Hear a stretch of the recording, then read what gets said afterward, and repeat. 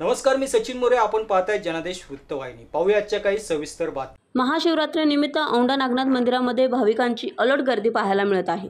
भारतातील बारा ज्योतिर्लिंगांपैकी हिंगोली जिल्ह्यातील औंढा नागनाथ येथे आठवे ज्योतिर्लिंग म्हणून नागनाथ मंदिर जगप्रसिद्ध आहे. महाशिवरात्रीनिमित्त औंढा नागनाथ येथे दरवर्षीप्रमाणे याही वर्षी लॉकडाऊन नंतर शिवभक्तांची प्रचंड गर्दी पाहायला मिळाली. या ठिकाणी दर्शनासाठी भाविकांच्या लांबच लांब रांगा पाहायला मिळत आहेत. मंदिरावरची विद्युत रोषणाई हे यात्रेकरूंचे आकर्षण ठरत आहे. यावर्षी औंढा नागनाथचे तहसीलदार डॉक्टर कृष्णा कानगुले व कळमनुरी विधानसभेचे आमदार संतोष टारफे यांनी अधिकारिकरित्या संयुक्त पूजा आरती करून नागनाथांचे दर्शन घेतले आहे.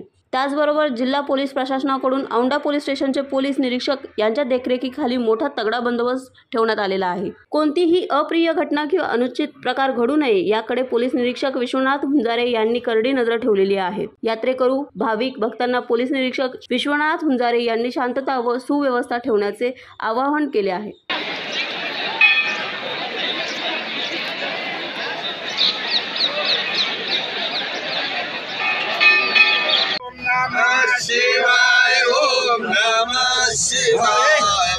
तन्नो रुद्र प्रचोदयादं तत्पुरुषाय विद्महे महादेवाय धीमहि तन्नो रुद्र